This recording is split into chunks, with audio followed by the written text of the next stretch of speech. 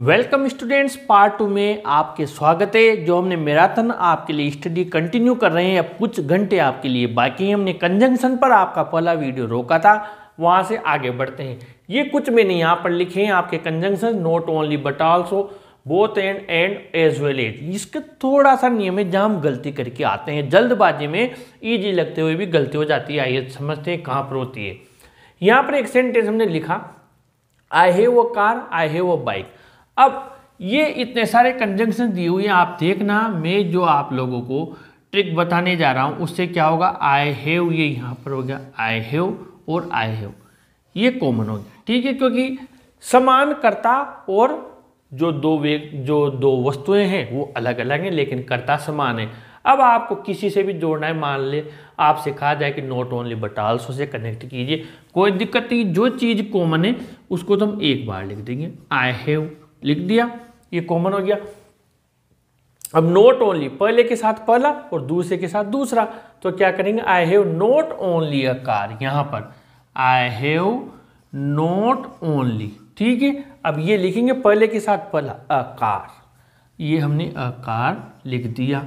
अब दूसरे के साथ दूसरा, ये बट ऑल्सो लगा दिया। अ कार बट ऑल्सो और फिर क्या है? अ बाइक अ बाइक हमने लिख दिया।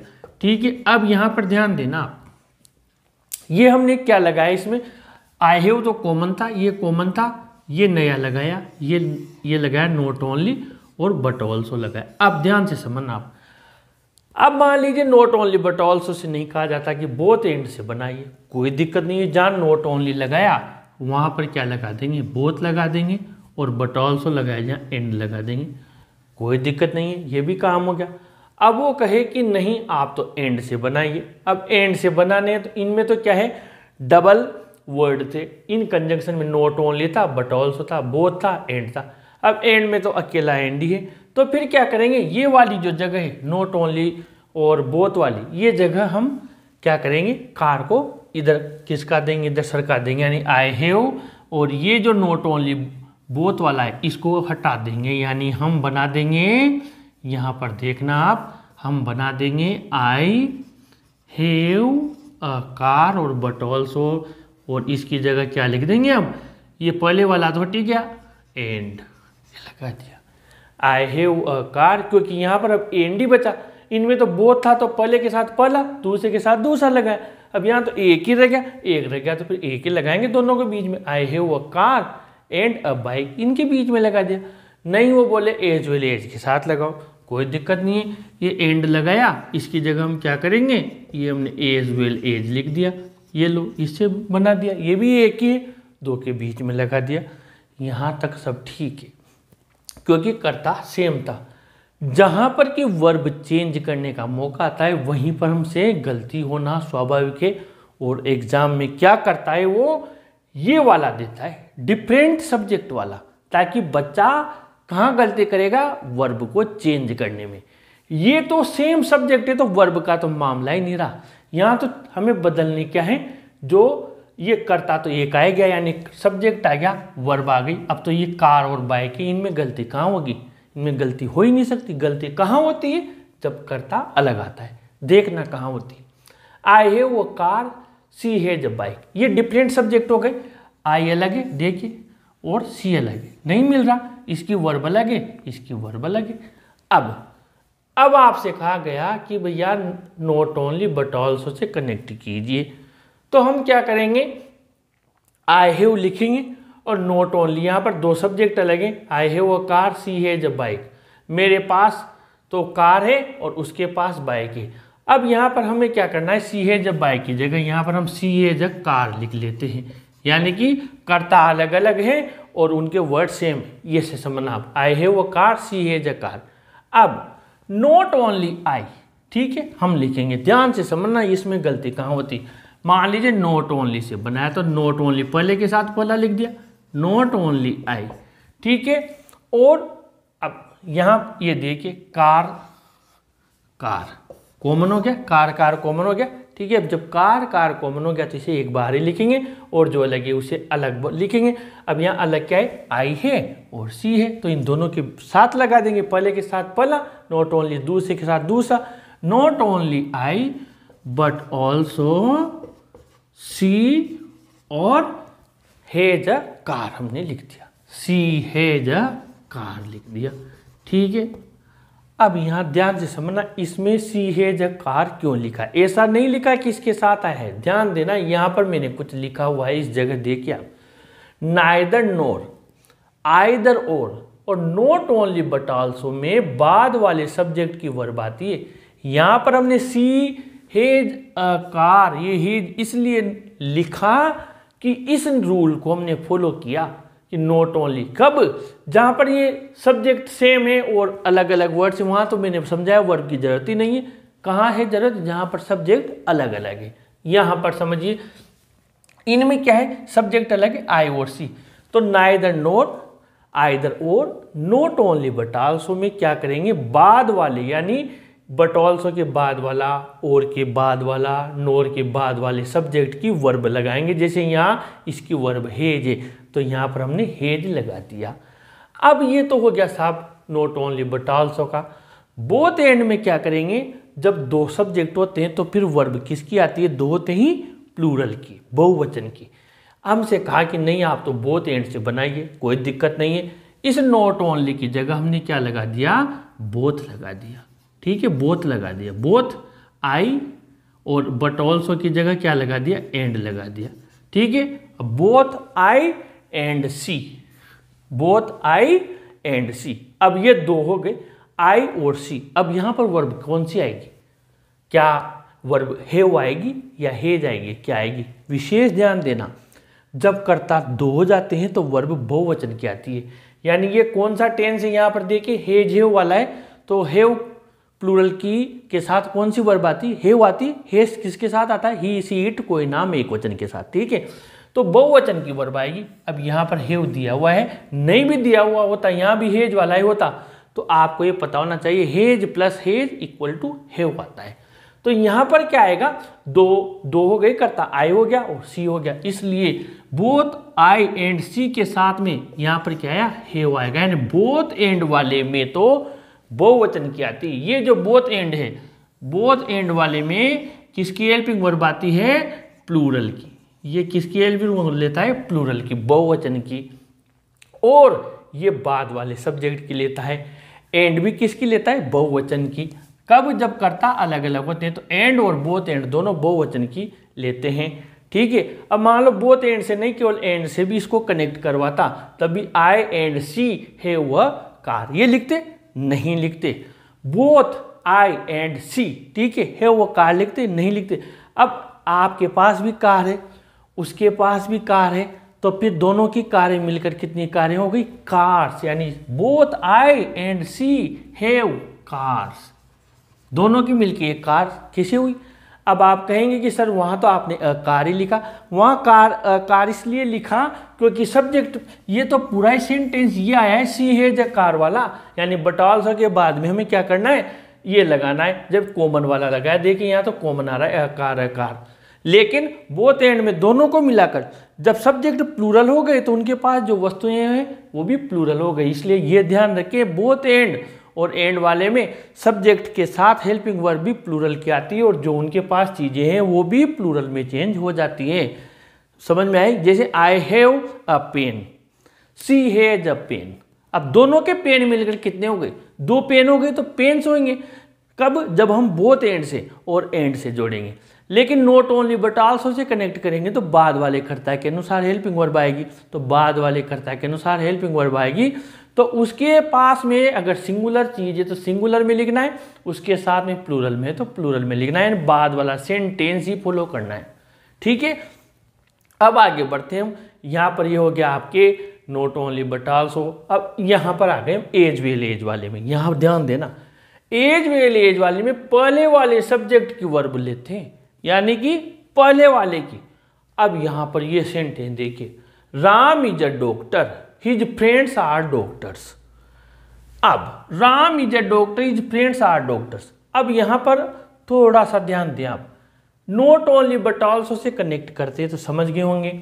नोट ओनली बट ऑल्सो में क्या करते नोट यहाँ ओनली यहाँ लगाते थे। नोट ओनली राम, फिर यहाँ क्या लगा देते बट ऑल्सो हिज फ्रेंड्स और बाद वाले करता है। के अनुसार लिख देते यानी इज़ अ डॉक्टर की जगह ये बन जाता, थोड़ी देर इसको भूल जाइए आप। Not only Ram but also his friends are doctors क्योंकि बाद वाले के अनुसार लगाना है। ठीक है? बोथ एंड वाले में क्या करते? बोथ राम और यहाँ एंड हिज फ्रेंड्स बहुवचन वाली। अब ऑलरेडी दी हुई है वर्ब और आर आर फ्रेंड्स ठीक है? एंड वाले में भी क्या करते? यहाँ पर Ram and his friends are doctors बहुवचन की आती। एज वेल एज में क्या होता है? पहले वाले, यानी सेंटेंस पढ़ेंगे तो लगेगा गलत लगाया हुआ है, लेकिन पहले वाले के अनुसार।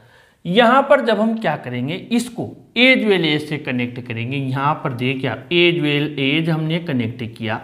एज वेल एज यानी इस जगह तो Ram as well as his friends ध्यान देना, राम इज़ अ डॉक्टर तो हट जाएगा। Ram as well as his friends अब यहाँ पर ये जो आर दिया हुआ है, ये आर नहीं आएगा, यहाँ पर क्या आएगा? इज़ आएगा। इज़ क्यों आएगा? हेल्पिंग वर्ब किसके अनुसार आएगी? पहले वाले कर्ता के अनुसार। मैं आप लोगों को कंफ्यूज ना हो, इसलिए इस सेंटेंस को यहाँ पर लिख देता हूँ थोड़ा, सफ़ाई से या फिर इनको मिटा देता हूँ, बहुत ज़्यादा इसमें आपके थोड़ा सा दिक्कत आ रही है तो इन चीज़ों को मैं पहले वाले को मिटा देता हूँ, थोड़ा साफ़ ही आप लोगों को बता देता हूँ एज वेल एज में होता क्या है? नहीं तो यहाँ पर आपके मार्क्स कट सकते हैं अगर गलती हो गई तो। तो यहाँ पर हमने एज वेल एज में मिट गया थोड़ा सा पहले वाले कर्ता के अनुसार लगाते हैं। एज वेल एज ये हम आगे बढ़े। अब ये हम यहाँ पर लिखते हैं राम इज़ अ डॉक्टर वाला। ठीक है? यहाँ पर राम इज़ अ डॉक्टर ठीक है, ये हमने लिख दिया। राम आंसर लिखते हैं। यहाँ देखना, राम ध्यान से। अब दो करता है ना as well as as well as से कनेक्ट कर दिया। As well as his friends his friends हमने लिख दिया। हिज फ्रेंड्स अब ध्यान देना हिज फ्रेंड्स आते ही हमारा पेन सीधा आर लिखता। लेकिन नियम क्या है? पहले वाले सब्जेक्ट के अनुसार। यानी यहाँ पर पहले वाला सब्जेक्ट राम है, एक वचन है तो फिर अब आर नहीं आएगा, बल्कि क्या आएगा? पहले वाले सब्जेक्ट के साथ क्या दिया हुआ है? इज़ तो यहाँ क्या आएगा? Ram as well as his friends is is his friends is अब यहाँ पर क्या लिखेंगे? Is is doctors is doctors अब बिल्कुल यहाँ पर मिलने में ही नहीं आ रही है बात। राम के साथ, उसके मित्रों के साथ साथ राम भी और इज़ डॉक्टर इज़ के साथ यहाँ लिखेंगे is a doctor is a doctor ये। ये आएगा यहाँ पर। शुद्ध तो ये हुआ। Ram as well as his friends is a doctor पढ़ने में बिल्कुल अजीब लग रहा है कि इज़ फ्रेंड्स आर डॉक्टर्स तो आया नहीं, क्योंकि इस सेंटेंस को आप ऐसे पढ़ें, मैं आप इसकी ट्रिक बता देता हूँ। ट्रिक ये है कि जब एज वेल एज वाले में आप पहले वाले के साथ लगाएँ तो इधर का आपको क्या करना है, केवल इधर का सब्जेक्ट उठा लो। ठीक है? और इसको इसके साथ लगा दो और ये जो शेष बचा, इसको पीछे ले जाओ लास्ट में। जैसे यहाँ पर हमने किया, ये राम का राम लिख दिया, इधर देखिए एज वेल से कनेक्ट कर दिया, ठीक है हिज फ्रेंड्स लिख दिया। अब ये शेष वाक्य बचा, ये देखिए इज़ अ डॉक्टर ये हम यहाँ पर ले गए इज़ अ डॉक्टर इसमें आपके हेल्पिंग वर्ड भी साथ में आ जाएगी और जो भी लिखा हुआ है, सब साथ में आ जाएगा, यानी इज़ अ डॉक्टर कंप्लीट हो गया। अब आगे बढ़ते हैं आपके आयदर और नायदर नोड ये बहुत सिंपल है, कोई दिक्कत नहीं है। इनमें क्या करते हैं? वही पहले के साथ पहला और दूसरे के साथ दूसरा। जैसे यहाँ पर दिया हुआ है, आपके Ram is a doctor his friends are doctors इसको आयदर ओर से बदलना है। आयदर ओर में भी हम क्या करेंगे? यहाँ पर पहले के साथ पहला आयदर राम, ये पहले के साथ पहला, राम के साथ आयदर लगा दिया। फिर दूसरे के साथ दूसरा और और हिज फ्रेंड्स हिज फ्रेंड्स हो गया हिज फ्रेंड्स अब देखिए आयदर और वाले में भी क्या करना है? बाद वाले कर्ता के अनुसार, यानी ये पूरा है, उतार दो। आर डॉक्टर्स आर डॉक्टर्स ये बना दिया। ये भी उनकी तरह है, पहले के साथ पहला और दूसरे के साथ दूसरा, और हेल्पिंग वर्ब किसके लगाएँगे? बाद वाले कर्ता के अनुसार। ना इधर नोर वाले में कुछ नहीं करना ये नोट होता है इसको हटा देते हैं, यानी कि ये जो नोट वाला होता है इसको हटा देते हैं, इसकी जगह क्या लगा देते हैं? एक में तो नायदर, एक में nor. They did not see Mohan I did not see Mohan. अब यहाँ पर did not see Mohan did not see Mohan common है, देख लीजिए आप, ये कॉमन रहा, ये कॉमन रहा। तो क्या करेंगे नायदर नोर में? पहले के साथ तो ये तो कॉमन हो गया, जो अलग है उनके साथ लगाएँगे, यानी नाइदर दे नाइदर दे पहले के साथ पहला दूसरे के साथ दूसरा, नोर आई। नाइदर दे, नोर आई। अब देखिए, विशेष ध्यान देना, ये से ही सेंटेंस देता है बोर्ड में। डिड नोट से दिया तो बच्चा क्या करेगा? नोट हटा देगा और सी का सी लिख देगा। नहीं डिड नोट वाला है। पास्ट सिंपल का है। तो जब डिड हटा तो वर्ब किसमें चली जाएगी? अब अफर्मेटिव में, सकारात्मक तो सेकंड फॉर्म में। Neither they nor I saw Mohan ये बनेगा। इस प्रकार ये आपके नाइदर नोर का बन गया। अब आगे बढ़ते हम सो डेट और टू टू में। ये भी क्या है? एक में तो केन नोट कुड नोट हटता है और एक में केन नोट कुड नोट लगता है। जैसे दिया हुआ है the tea is very hot I can not take it too to से है। तो ये जो वेरी दिया हुआ रहता है, इस वेरी को उड़ा दो, इसकी जगह टू लगा दो। The tea is too hot. और ये जो आई होता है, जब हम ये टू लगाएँगे तो ये के नोट हट जाता है। टू कहाँ जाएगा? ज़िंदगी भर याद रखना, टू फ़र्स्ट फॉर्म के पहले आता है। और ये जो आई होता है, ये फोर मी में चेंज हो जाता है। किसमें चेंज हो जाता है? फोर मी में। यानी इसका ऑब्जेक्ट बन जाता है, ये जो सब्जेक्ट आई होगा तो मी में, यू होगा तो यू में, वी होगा तो अस में। तो ये क्या बना? The tea is too hot, for me और ये फ़र्स्ट फॉर्म के पहले टू लगा देंगे। यानी के नोट हटेगा तो टू आएगा। टू कब आएगा? जब के नोट कुड नोट हटेगा। The tea is too hot for me to take और ये इट भी उड़ जाएगा। मैंने बॉक्स में इसलिए बंद किया ताकि आपको लिखे भी दिखे और ये भी दिखे कि इनकी जगह क्या आया। ये जो बॉक्स में बंद है, इनकी जगह ये आया है। इट वापस दोबारा नहीं लिखना। क्या बना? The tea is too hot I को किसमें बदला? फोर मी में टू टेक और यहाँ, ये फुल स्टॉप यहाँ आ जाएगा। अब एक सौ डेट से दे दिया। सो डेट वाले को क्या करना देखिए यहाँ पर टू टू से दे दिया इसने। अब टू टू को ओपन करके क्या करना है, सो डेट में बदलना है। कोई दिक्कत नहीं। The old man was too weak. तो टू की जगह क्या कर देंगे, सो लगा देंगे। मैं यहाँ टू लिख कर ही लगा देता हूँ।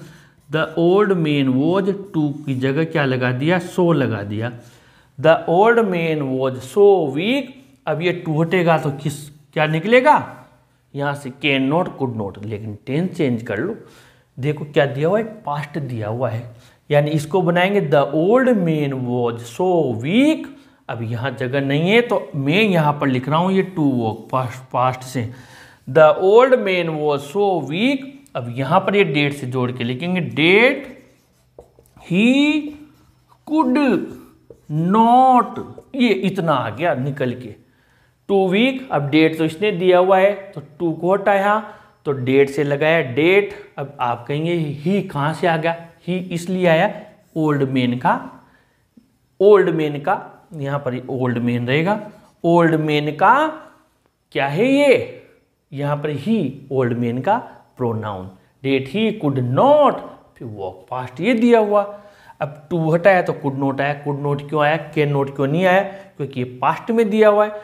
So he could not walk fast ये बना।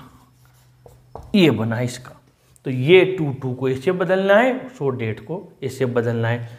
He went out his wife was cooking food अब ये किसे जोड़ना है? वाइल से। वाइल का मतलब क्या होता है? जबकि वेन वाइल वाला। मैंने बताया था आपको सुबह भी।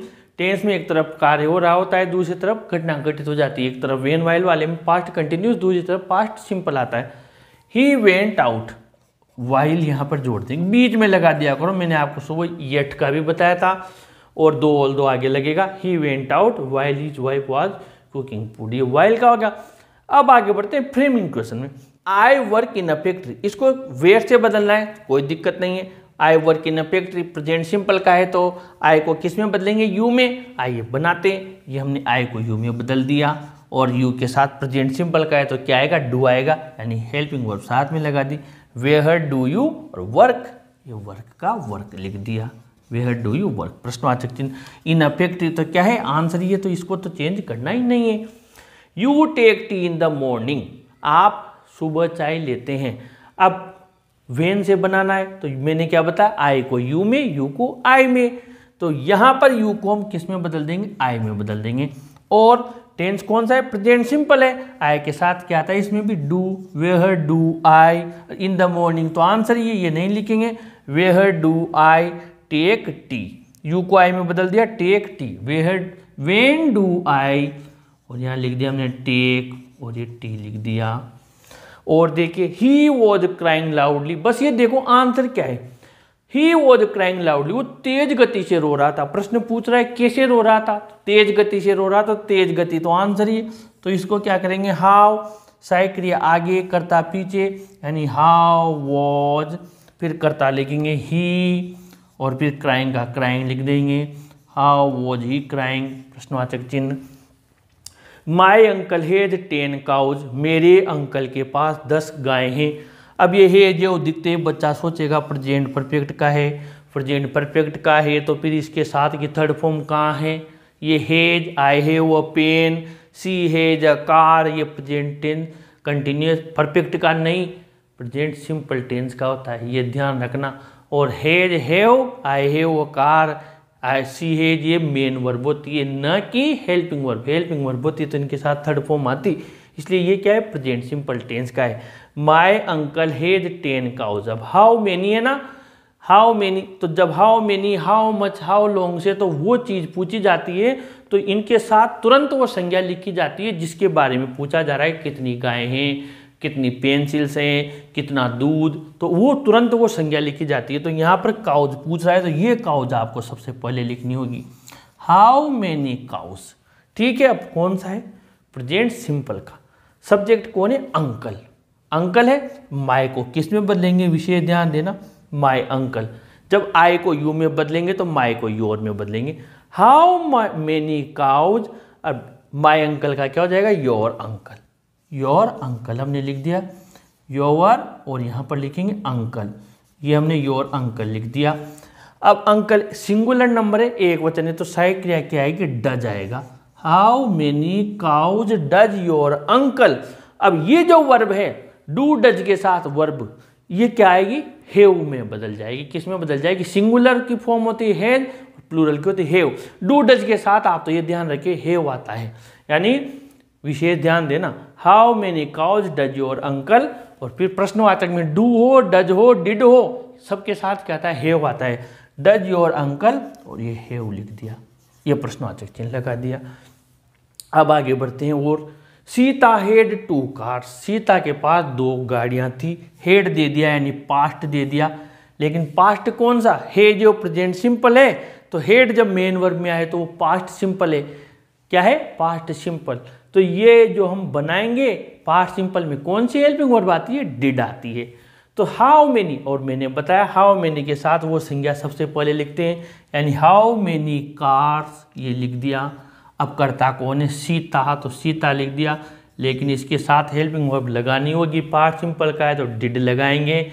How many cars did Sita, और हेड के हेड हो चाहे हे जो, चाहे हे वो डू डज डिड के साथ हमेशा हेव आता है।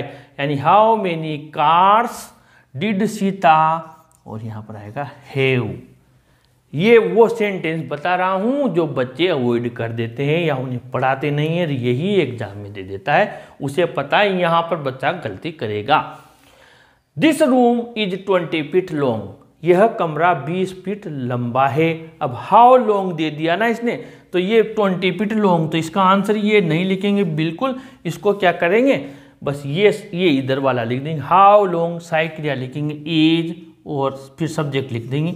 How long is this room. यह रूम कितना लंबा है? ये हो गया। अब इसी में और आगे बढ़ते हैं।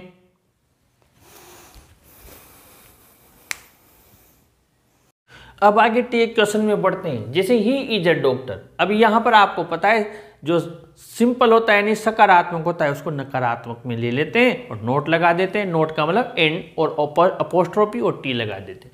जैसे अ डॉक्टर हटा देंगे, इसका क्या बनाएँगे? बहुत सिंपल है, इज़ ले लिया सही क्रिया इसके नकारात्मक बनाएँगे तो एंटी नोट को ऐसे लिखते हैं, इजेंट और ही बना दिया। ये प्रश्नवाचक चिन्ह हो गया।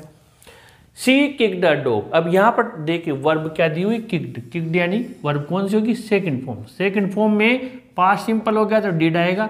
अब सकारात्मक में दिया हुआ है तो नकारात्मक में बनाएँगे तो डिडंट और ये ले लिया सी।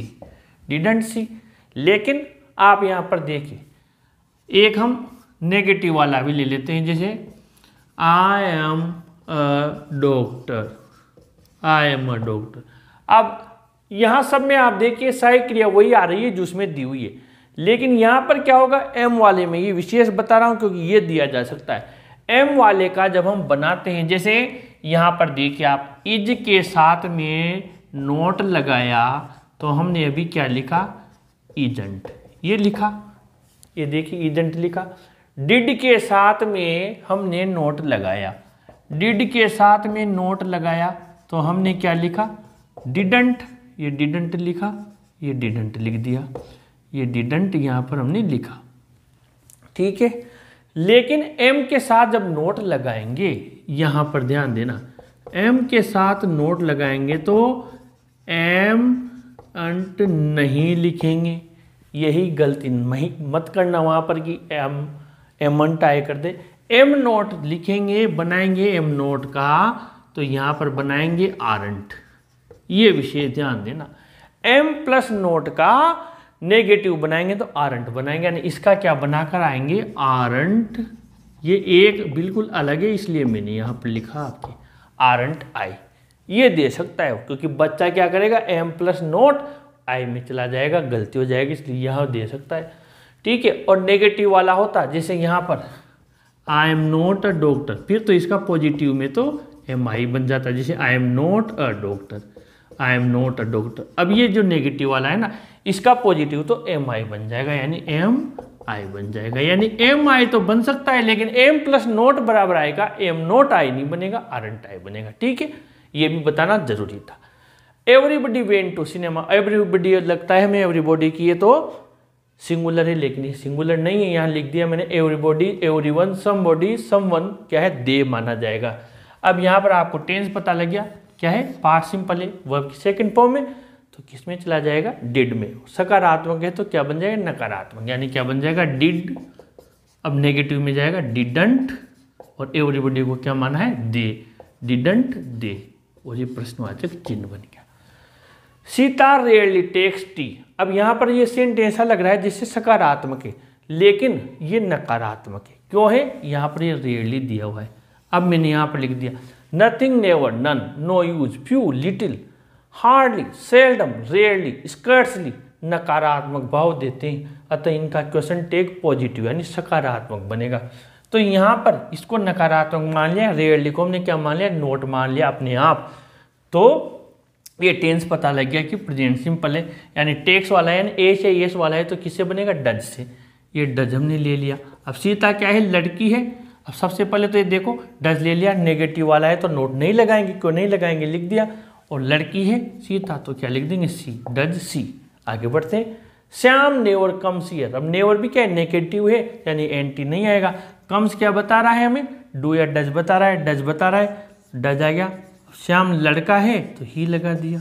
डज ही अब प्लीज़ हेल्प मी ये इंपीरेटिव सेंटेंस आ गया। अब प्लीज़ हेल्प मी के आपको दो तरीके हैं। विल यू वॉन्ट यू दोनों से बना सकते हो आप। विल यू वॉन्ट यू लेकिन आएगा यू ही। ऐसा नहीं प्लीज़ हेल्प मी का will they will me I will I कुछ भी लिख दे। विल यू ही आएगा।